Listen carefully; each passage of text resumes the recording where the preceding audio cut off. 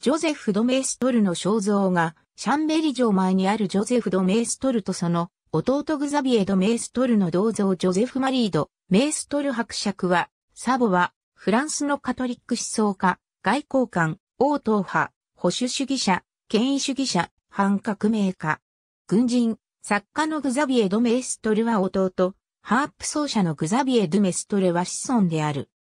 ジョゼフ・マリード・メーストル伯爵は、1753年4月1日、サルデーニャ王国領サボワのシャンベリに、サボワの上院議長、フランソワ・グザビエド・メーストル伯爵の長男として生まれた。サルデーニャ王国はイタリア系の王国であるが、メーストル家はフランスにも領地を持っていたので、サルデーニャ王の進化であると同時に、フランス王の進化でもあった。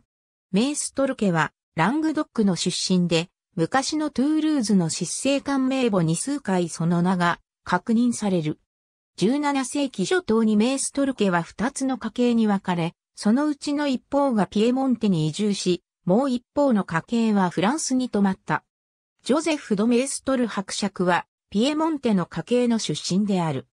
1774年、トリノ大学の法学部を卒業後、サボア上院の検察官の職務に就いた。彼は、シャンベリに戻ったすぐ後で、フリーメイソンのロッジに加入した。当時フリーメイソンはすでに教皇によって非難されていたが、メーストルはサンマルタンの神秘的な考えに大変影響された。彼のそうした神秘主義的傾向は、後にサンクトペテルブルク対話編において明確に示されることになる。メーストルが所属していたフリーメイソンのロッジは改革的というよりは保守的であったとはいえ、革命まで彼はこの影響により自由主義的思想の持ち主であり、彼が明確に反革命の立場を取るようになった後でも、フランス宮廷の人々は彼をなかなか信用しようとしなかったと言われている。彼はフランス語とイタリア語の他にギリシア語、ラテン語、英語、スペイン語、ポルトガル語、ドイツ語を開始、また、新旧の両聖書、ギリシアローマの古典、古代恐怖の思想、聖トマス・アクイナスの思想を中心とした中世神学、ルネサンス期の一連の思想、そして同時代の啓蒙思想に至るまで、ヨーロッパ思想全体に通行する大変な赤学であった。そして敬虔なカトリック教徒であった。1786年にモーラン城と結婚、その間に後に軍務に就くことになるロドルフとテレーの妻となったアデル、ラバルモン・モランシー公爵と結婚したコンスタンスの二人の娘を設けた。1787年に父の後を継いで上院議員となった。フランス革命が勃発する1789年まで彼の人生は平穏なものだった。彼はシャンベリで平穏に務めを果たしながら暮らした。革命が勃発した時、彼はすでに二児の父親であった。フランス革命勃発の最初期、メーストルは革命に対して好意的であったが、やがてすぐに革命に反対の立場を取るようになる。1792年、フランス共和国軍がサボワを侵略すると、メーストルはスイスのローザンヌに亡命した。そこで彼はサルデーニャ王の講師の職に就いた。この時からメーストルは非常に活発に革命思想に反対する数多くの著作を生み出していった。1796年に出版されたフランスについての考察は、亡命貴族など反革命派の心をつかみ、メーストルの名前をヨーロッパ中に知らしめた。1802年、メーストルはサルデーニャ王の代理としてロシアの首都サンクトペテルブルクに赴任した。そこでは彼の首長となったサンクトペテルブルク対話編が書かれた。他にも、教皇、生態の創造原理など有名な著作を物した。当時サルデーニャ王はナポレオン・ボナパルトの犠牲となってトリノを奪われ、サルデーニャ島に避難していたため、メーストルに満足な給付を与えることもままならず、メーストルは統治で非常につましい生活を余儀なくされた。そのような状況にあって彼はその豊かな才能と基地、社交的な魅力によってロシア宮廷の人々に強い印象を与え、ロシア皇帝アレクサンドル一世もメーストルに一目置くこととなった。メーストルは1817年に帰国することとなったが、その原因は彼がイエズス会主をロシア宮廷において支援し、何人かのロシア貴族をカトリックに改宗させたことについてアレクサンドル一世の不況を買ったからだと言われている。ともあれ、メーストルは故国で革命以来20年ぶりに家族と再会を果たした。彼は亡くなるまでピエモンテ・サルデーニャの司法長官としてサルデーニャ王に仕えた。メーストルは世襲君主制や教会、あるいは偏見や迷信といったものの権威を、それが合理的であるがゆえに擁護するのではなく、逆にそれが非合理的であるがゆえに擁護する。彼は徹底した反合理主義、反啓蒙主義者であり、ボルテールとルソーに対してあらん限りの表現で罵倒を行っている。メイストルにおいて理性と信仰は対立している。彼は理性と信仰の調和を図ったトマス・アクイナスの門とたることを自称しているが、それというのは、理性が信仰を前提としている限りにおいてであり、自律的理性などという考えは、メーストルにとって理性の単なる越見というのにとどまらず、人間本性を腐敗させる考え方なのである。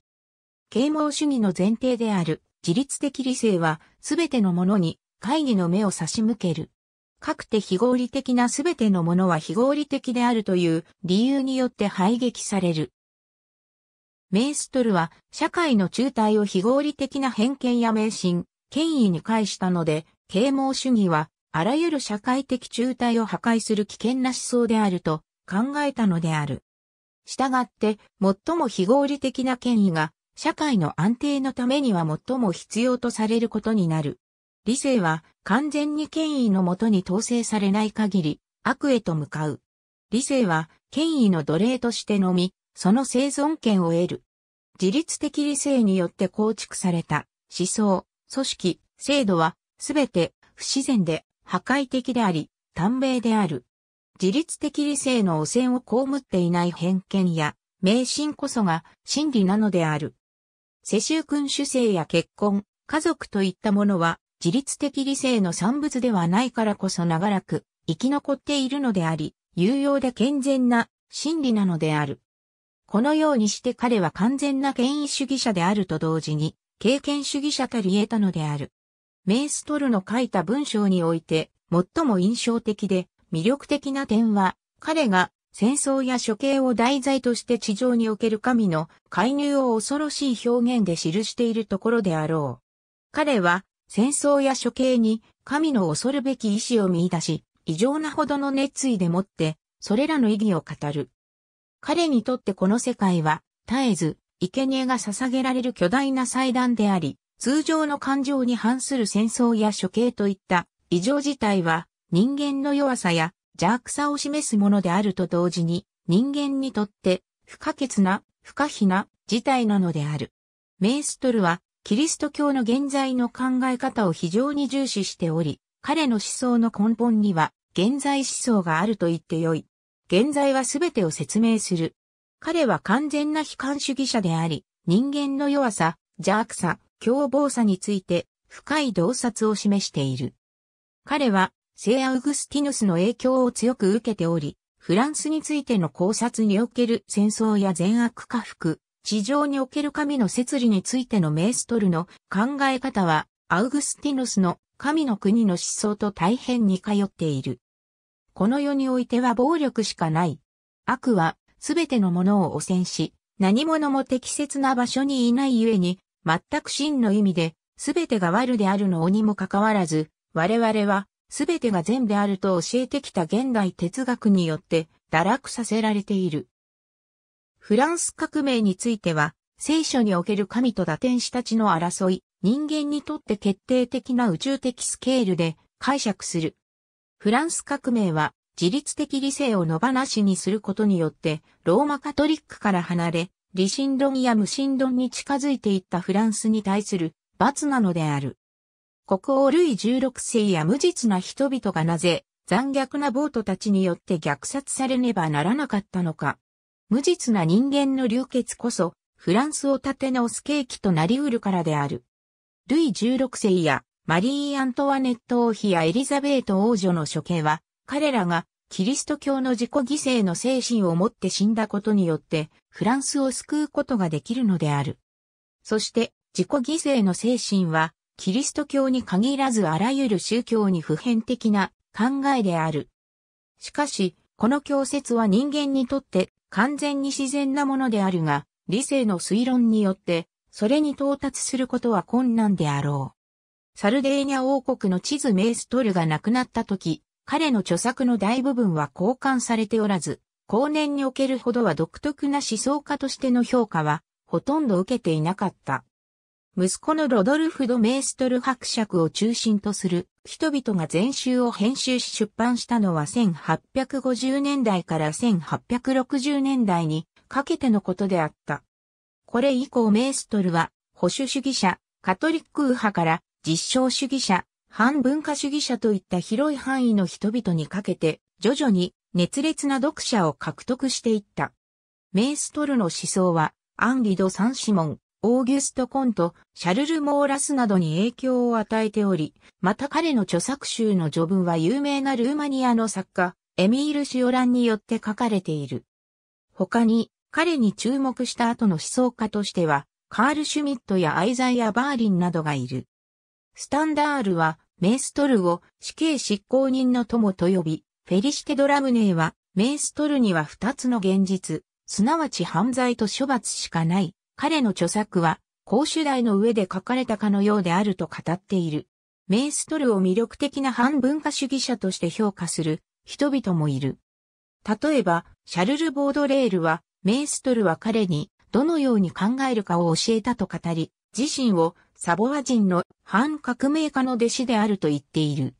また後にアメリカ版メイストルと呼ばれたのは第7代アメリカ合衆国副大統領ジョン・カルフーンである。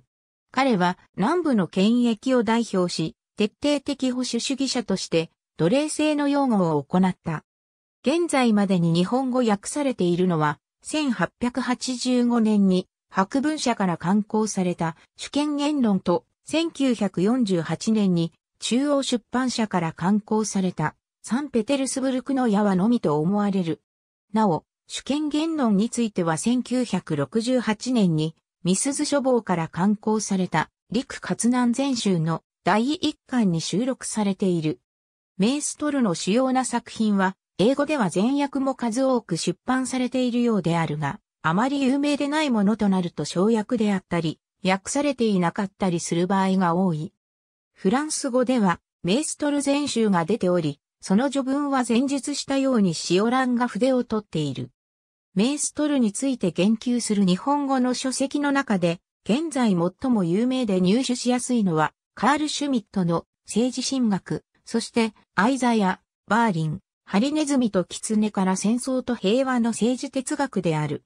また、岩波書店で刊行されているバーリン選集にもメーストルについて触れられている論文がいくつかある。日本の保守系論客の著作の中にメーストルの名前が登場することがあるが、ほとんど重要でないものしか確認していない。保守主義一般についての古い外説書などには、メーストルが比較的詳しく取り扱われているものもある。フランス哲学史、啓蒙思想史の本などに彼の名前がルイ・ガブリエル・ド・ボナールと共に反革命家、反動家として挙げられていることがある。また、フランス革命辞典やカトリック辞典の類に彼の項目が載っているものもある。ところが、近年それら評論書や外説書の一部のみならず、メーストルを主題にした書物が表され始めている。アントワーヌ・コンパニョン、アンチモダン反近代の精神史において、反啓蒙思想、反革命、崇高、現在、悲観主義、バリ増減を必要条件とする反近代主義の作家の思想としてメーストルが挙げられ、書物を通してメーストルの引用が繰り返されている。また、慶応義塾大学の川上洋平、ジョゼフ・ド・メーストルの思想世界で彼の名の付く書物が初めて出版された。ルソー研究の基礎がある著者の研究的反動性が現れた名著である。この流れを引き受け、オピニオン雑誌、表現者においても、平坂淳一、フランスの保守思想、ジョゼフ・ドメーストルが7回連載されるなど、これまで我が国で主流だった英国流のバークの保守思想に加えて、その根源的な意義を確かめるための思想家として見直されている。ありがとうございます。